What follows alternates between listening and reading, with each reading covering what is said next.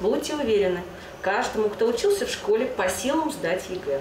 19 заданий и почти 4 экзаменационных часа. Выпускники Самарской области сдают один из самых популярных экзаменов – базовую математику. Напомним, в этом году проверку знаний проходят только те, кто планирует поступать в ВУЗ. Поэтому испытания по базовой математике отменили.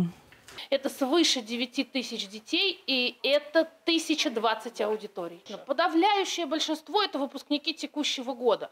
Выпускники прошлых лет у нас, конечно же, есть, но они не составляют основную массу. Скажем так, это не больше по разным предметам, не больше от 2 до 10% общего количества сдающих. Будущие студенты технических специальностей уже рассажены по аудиториям и волнуются, а чтобы исключить соблазн помочь, на всю школу не найти ни одного учителя математики. И это не единственная отличительная деталь. Эпид-обстановка внесла свои коррективы. Термометрия перед экзаменом, два выхода и обязательное социальное дистанцирование. В этом году, во-первых, сокращено количество детей, которые могут находиться в аудитории. И обратите внимание, если раньше это была классическая расстановка парт, а, то сейчас зигзагообразная.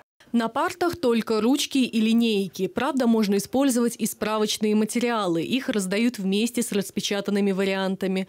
После экзамена все ответы сканируют и отправляют по защищенным каналам связи на проверку. Свои результаты участники ЕГЭ узнают не позднее 24 июля. Следующая итоговая аттестация пройдет 13 июля. Выпускники проверят свои знания по истории и физике.